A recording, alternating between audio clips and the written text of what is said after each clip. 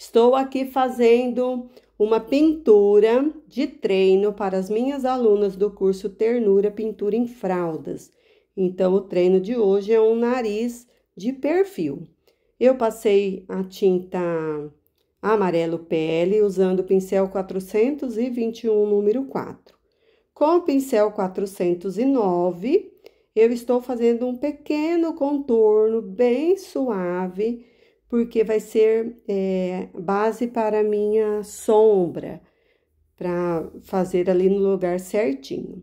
Eu misturei o cappuccino com o amarelo pele e um pouquinho do amarelo é, queimado.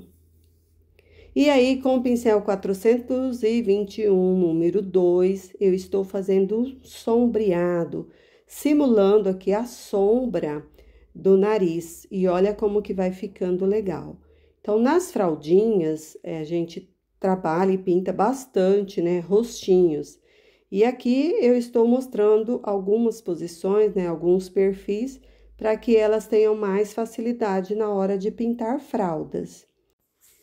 E agora, com o pincel pequeno também, eu vou iluminar algumas regiões aqui com o pincel 421 número 2 ou 0, tá bom? Agora quero saber o que você achou desse narizinho. Me conte aqui abaixo e não esqueça de se inscrever e ativar as notificações.